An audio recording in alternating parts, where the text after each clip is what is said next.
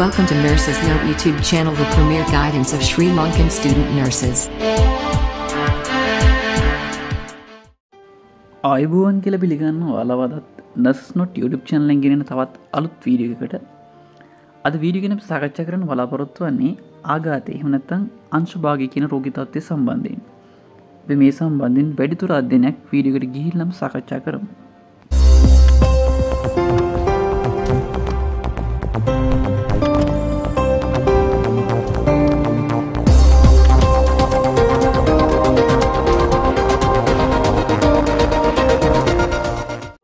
සරලව අංශභාගේ වනත්තං ආගාතය ලෙස හඳුනවීම රෝගී තත්ත්වය පැරලයිසිස් විදියට ඉංග්‍රිසි මාධ්‍යයනුත් මෙඩිකල් ටර්ම් එක විදියට ස්ට්‍රෝක් කියන වචනයත් භාවිතා වෙනවා. මුලයේ සයිලවලට අවශ්‍ය ඔක්සිජනී ක්‍රත එකන්නේ ඔක්සිජන් වලින් පොහොසත් තුරුදරය නොලබීම නිසා මුලේ අදාළ ප්‍රදේශය වූ සයිලමියයාමට අදාළ සංසිද්ධිය තමා අපි මේ ආගාතයහෙවත් අංශභාග තත්ත්වයක් ඇතිවෙනා කියලා හඳුන්වන්න. මේක හේතු දෙකක් නිසා සිදුවෙන්න පුළුවන්. එකක් රුදුර වාහිනය අවරවීම නිසා වෙන්නත් පුළුවන්. ඒවගේම රුදුරවාහනයක් නිසා ප්‍රමාණුවත් රුදුරය නොලබීමෙන් මේ විදියට මොලේ සයිල විනාශවීමක් වෙන්නත් පුළුවන්. අපි මේ රෝගය ටයිප්ස් තුනකට වර්ග කරනවා. එකක් ස්කීමික් ස්ට්‍රෝක් දෙක හෙමෝරජික් ස්ට්‍රෝක් සහ තුන ට්‍රන්සියන්ට් ස්කීමික් ඇටැක් අපි මුලින්ම ස්කීමික් ස්ට්‍රෝක් කියන තත්වය ගැන කතා කරමු. ස්කීමික් ස්ට්‍රෝක්කයක් කියලා කියන්නේ රුද්‍ර වාහනික පවතින අවහිරතාවයක් නිසා මොලේ සයිලෝඩ අවශ්‍ය ඔක්සිජනී කෘත රුදුරය නොලබීමෙන් මොලේ සයිල මියාම නිසා ඇතිවන අංශ භගතත්වය මිතත්වය ඇතිවීමට හේතු කීපයක් බලපාන එකක් තමා එම්බොලිසම් කියන තත්ත්වය. ඒ කියන්නේ දේහයේ යම්කිසි තැනක හටගත් රුදුර කැටියක් වූ ආගන්තකු ද්‍රව්‍යයක් රුද්‍රවාහනි අවේර කිරීම නිසා රුදුරයාමනයට බාධ ඇතිවීම. අනික්කාරණාව තමා ත්‍රොම්බෝසිස් කියන තත්ත්වය කියන්නේ රුද්‍රවාහනී බීති තුළින් මහටගත් රුද්‍ර කැටියක් නිසා රුද්‍ර ප්‍රවාහය අවෛරවීමෙන් මෝලේට රුද්‍ර සැපියම අඩුවීම නිසා මොලේ සයිලමයාම්. දෙවනාකාරය විදියට හෙමරෝජික් ස්ට්‍රෝක් ගැන කතා කළොත් රුදුර නාලයක් පුපුරායාම නිසා මොලේට අවශ්‍ය රුද්‍ර සැපීම නොලබීයාමෙන් මොලේ සයිල මේයාමට ලක්වීම. ප්‍රතිකාරවලින් පාලනයක් සිදු නොකළ අධිරුදුර පීඩනය හෙවත් අන්කන්ට්‍රෝල් හයිපටෙන්ෂන් ඕල්ඩේජ් සහ බ්‍රයින් ඇනිවරිසම් වල බර්ස්ට්‍රීම් මෙලෙස රුදුරවාහනය වීම් වලට හේතු වෙනවා. තුංවනාකාරය TIA හෙවත් ට්‍රන්සියන්ට් ස්කීමික් ඇටැක් මේකත් අපි මුලින් කතා කරපු ස්කීමික් ටයිප් ස්ට්‍රෝක එකක් නමුත් මේ ඇති වෙනස තමා මේක පූර්ණාගත තත්ත්වයක් නෙවෙයි. ඒ කියන්න මේ ස්ට්‍රෝක එකට අදාළ රෝග ලක්ෂණ විනාඩි කීපයක් හෝ පෑ කීපයක් ඇතුළත ෂනිකෝ පෙන්නුම් කිරීම. සැබවින්ම මෙම තත්ත්වය පසුකාලයනු ස්ට්‍රෝක එකක් ඇතිවීමේ පූර ලක්ෂණ කිවත් වෝනින් සයින් එකක් විදිට අවධානයම් කිරීම ඉතාම් වැදගත් වෙනවා. දැන් අපි මේ රෝගයට මූලිකවම් බලපාන මිනිස් දේහය ප්‍රධානපයවය වන මොලේ වියහය හා ක්‍රියාකාරිත්වය ගෙන අවධානයමු කොළොත් මිනිස් මොලය රයිට් හෙමිස්ෆියස් සහ ලෙෆ් හෙමිස්පියස් විදියට අර්ධගෝල දෙකට වෙන් වෙලා පවතිනවා. මේ එක් අර්ධගෝල එකක එක්කෙක් කාරයන් සඳහා වග කියන ප්‍රදේශයන් වෙන වෙනම් පීටා පවතිනවා. මොලේට රුදුරසැපියම් සිදු කරන්නේ කැරඩිඩ් ආටරි සහ වර්ටිබර්් ආටරි වලින්. අපි දැන් මොලේ විවිධ කොටස් වලට අදාළ කාරයන් ගැන අවධානයම් කරමු. මොලේ ඉදිරි පසින්ම පවතින ෆ්‍රන්ටල් ලෝබ් මගින් සිතීම මොතකය කතනය සහ චලනයෙන් පාලනය කරනවා ඊට පිටු පසින් පැරයිටල් ලෝබ් භාෂාව සහ සංවේදනයෙන් පාලනයට දායක වෙනවා. ශ්‍රවණී ඉගෙනීම් සහ හැඟීම් පාලනය මොලේ ලැටරලි පවතින ටෙම්පරල් ලෝබ් මගින් පාලනය කරනවා.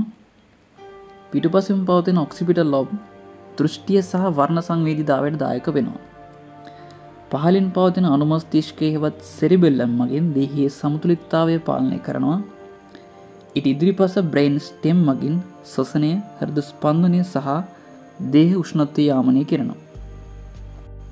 මොලේ හෙමිස්ෆියස් දෙක සැලකෝත් රයිට් සයිඩ් හෙමිස්ෆියස් එක ක්‍රියේටිවිටි එකටත් ලෙෆ් සයිඩ් හෙමිස්ෆියස් එක ලොජිකලි තිංකින් එකටත් දායක වෙනවා.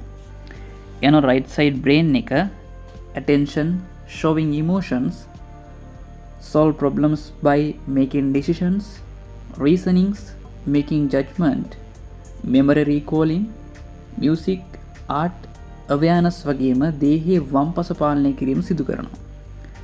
ලෙෆ් හෙමිස්ෆියස් එක speaking writing reading maths skills analysing සහ ප්ලෑනිං කියන කාරණාවලට වගේම දේහේ දකුණු පස පාලනයට දායක වෙනවා. හරි දෙන්න අපි බලමු පුද්ගලොක්ගේ මොලේ දකුණු පස කොටසට ඩැමිච්චුනොත් මොනවගේ දෙයක්ද සිතුවන්න කියලා. මෙහිති ලෙෆ්සයිඩ් වීක්නස්සයක් ඇති වෙන එකන්න ලෙෆ්සයිඩ් හෙමිපලේජ එකක් ක්‍රියේටිවික්ට එකට බාධා ඇති වෙනවා ඩේට් ටයිම් පලේස් ගැන කන්ෆියෂන් තත්ත්වයක් සමීප පුද්ගලයන් අඳුනාගෙන්නෙම අපහසුතාවයක් වගේම කතනේදී එක් මාතෘකාවක සිටීමේ අපවස්ථාවයක් දකින්න පුළුවන්. ඉට අමතරව left-side neglection, trouble with maintaining proper grooming සහ ශේප්ස් අඳුනා ගැනීමේ නොහැකියාවක් ඇතිවෙන්නත් පුළුවන්. මොලේ වම් පසර ඩැමේජීම් සලකා බැලුවොත් රයිඩ් සයිඩ් හෙමිපලේජ එක කතනු අපස්ථාවක් ඇතිව මේක නේෆීසිය තත්ත්වයක් ට්‍රබල්ලි අන්ඩස්ටෑනින් රේන් ටෙක්ස්ට මෙමරිම්පයාමන් තත්ත්වයක් ඇතිවීමේ අවධානමක් තියෙනවා. දැනබි ස්ට්‍රෝකයක් ඇතිවීමට බලපාන රිස්ෆෙක්ටර්ස් ගැන වදනම් කොළොත් ස්මෝකින් බ්ලඩ් තිනස් රිදම් චේන්දස් කැන ඒඩ්‍රල් ෆිබ්‍රිලේෂන් වගේ oral contraceptives family history hypertension atherosclerosis physical inactive previous TIA සහ ඩයබටික් මෙලයිටස් කියන තත්ත්වයන් හේතු වෙනවා දැන් අපි රෝග ලක්ෂණ ගැන කතා කළොත් මේ රෝග ලක්ෂණ සාමාන්‍යයෙන් ෂනිකව හටගන්නා මිනිසා මේ රෝග ලක්ෂණ පෙන්නුම් කරන කාලය පිළිබඳ අවධානකම් කිරීම පැදගත් වෙනවා. නැශනල් ස්ට්‍රෝක් ඇසෝසිේෂන් එක මගින් ෆාස්ට් කියන ටර්ම් එක සජෙස් කරලා තියෙනවා මේ රෝගේ රෝග ලක්ෂණ විස්තන කරන්න. F එක මගින් ෆේස් මෙහිදී රෝගයාගේ මුහුණේ ඩරූපිං එකක් ඒසිමෙට්‍රිකල් ස්මයිල් එකක් වගේ පෙන්නුම් කරනවනන් ඒක ස්ට්‍රෝක එකක වෝනින් සයින් එකක් වෙනවා. ඒෝ ආම්ස් මෙතනිති පුද්ගලයාගේ දෙයත්වල නම්නස් එකක් වගේම දෙයත් ඉහල ඩිසවීමී අපස්ථාවක් ඇතිවුණනම් ඒකත් ස්ට්‍රෝක් එක සයින්නෙක් විදිට සලකන්න පුළුවන්. ස්ෆෝස් පීච් පුද්ගලයාගේ කතන අපස්ථාවයක් දක්නට ලැබෙනවනම් එකත් ස්ට්‍රෝක් එක පූරලක්ෂණයක්. ටෆෝට්ටයිම් අපි කලින් කතා කලා වගේ ස්ට්‍රෝක එකක් කියලා හඳුනාගත් වහාම ප්‍රතිකාර සඳහා ක්‍රියාත්මකවීම ඉතාමත් වැදගත් වෙනවා. රයි් දැන් අපි ස්ට්‍රෝක එකකට අදාළ රෝග ලක්ෂණ හඳුන්නාදීමට භාවිතාවන මෙඩිකල් ටර්ම්ස් කීපයක් ගැන ඉගෙන ගනි. කතනට අපස්ත තිවීම ඒපසිය වශයෙන් හඳුන්වා මේක ටයිප්ස් දෙයක් යට ති සකච්ඡා කරන රෙසෙප්ටියව සහ එක්ස්ප්‍රසිව් කියලා. රෙසෙප්ටියව් කියලා කියන්නේ කතනය අඳුනා ගැනීමට නොහැකිවීම. එක්ස්ප්‍රසිව් කියල කියන්නේ අඳුනාගත හැකිවුවත් ප්‍රතිචාර දැක්වීමේ නොහැකියාව. ඩිසාතිය මසල් වීක්නස් වීම නිසා කතන අපස්ථා ඇතිවීම සහ තේරුම් ගැනීම අපස්ථා ඇතිවීම ඇප්‍රෙක්සියා වොලන්ටරි මූමන්සල් සිදුකිරීමේ නොහැකියාව ඇග්‍රෆියා ලිවීමේ හැකියාව නොමැතිවීයාම ඇලෙක්සියා කියවීමේ සහ තේරුම් ගැනීමේ හැකියාව නැතිවීයාම